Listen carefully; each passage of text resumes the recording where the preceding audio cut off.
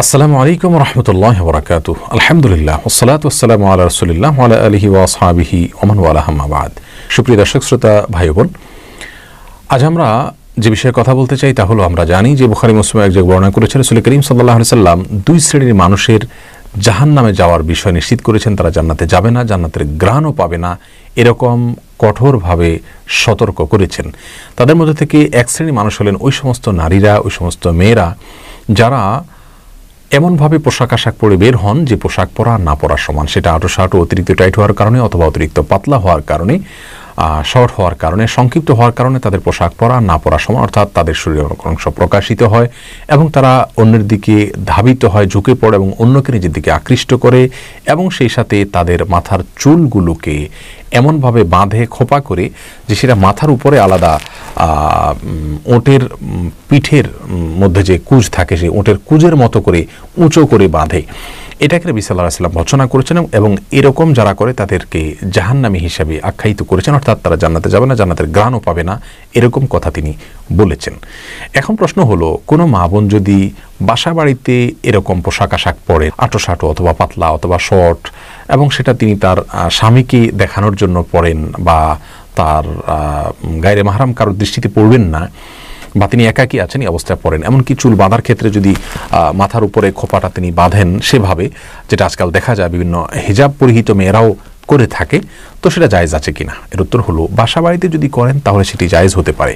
কারণ হাদিসে পূর্বের এবং পরের সমস্ত অংশগুলো মিলালে আমরা দেখি, সেখানে অন্যকে আকৃষ্ট করা এবং আপনার এমনভাবে চলাফেরা করা যে অন্য ফেতনায় পতিত হতে পারে এই বিষয়গুলোর কথা উল্লেখ করা হচ্ছে। তার মানে এটা বাহিরে যখন আমরা বের হব, তখন এভাবে আমাদের চুল বাঁধার ব্যাপারে নিষেধাজ্ঞা রয়েছে।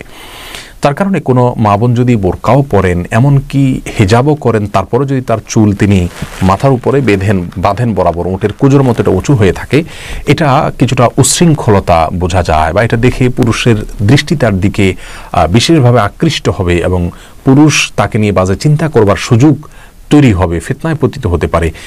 এবং যার ফলে তার নিজেরও নিরাপত্তা বিঘ্নিত হতে পারে।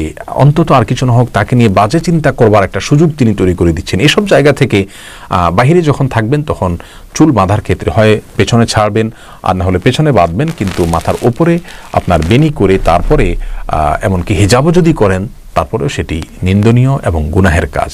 এহাদিস থেকে বোঝা যায়, তার ফলে শাস্তির মুখোমুখি হতে হবে। আল্লাহ মাফ করুন। কিন্তু বাসাবাড়িতে অবস্থান করাকালীন সময় যদি কেউ এগুলো করেন, তাহলে সেক্ষেত্রে এই নিষেধাজ্ঞার আওতার বাইরে থাকবে।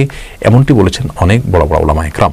তারপরেও যেহেতু অনেক ফাঁসিক মেয়েদের কালচার এটা, কৃষ্টি, তাদের সংস্কৃতি, তাদের সাদৃশ্য গ্রহণ হয়ে যায়, বিধায় এ ধরনের চুল বাঁধা বা এ ধরনের স্টাইলগুলোকে অবলম্বন না করাই উত্তম, যেগুলো তাদের সাথে সাদৃশ্য আমাদেরকে করে দেয়। রসুল করিম সাল্লাহ সাল্লাম বলেছেন সোনাবুদ বর্ণিত হয়েছে মান্তাসাবভাবে কমিন ফাহমিন হুম যে ব্যক্তি কোনো জাতির সাথে সাদৃশ্য গ্রহণ করে বা তাদের মতো হয়, সে তাদের অন্তর্ভুক্ত হয়ে যায়।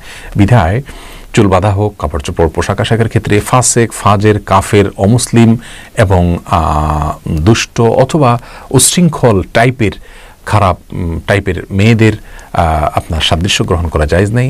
একইভাবে একই কথা পুরুষদের জন্য প্রযোজ্য যে ফাসেক, ফাজের বা আপনার উশৃঙ্খল পুরুষ বা যারা গুনাহে নিমজ্জিত থাকে, আল্লাহর ভয় যাদের ভিতরে নেই তাদের স্টাইল ধারণ করা মোত্তাকিদের জন্য মানানসই নয়, তাদের জন্য জায়েজ নেই।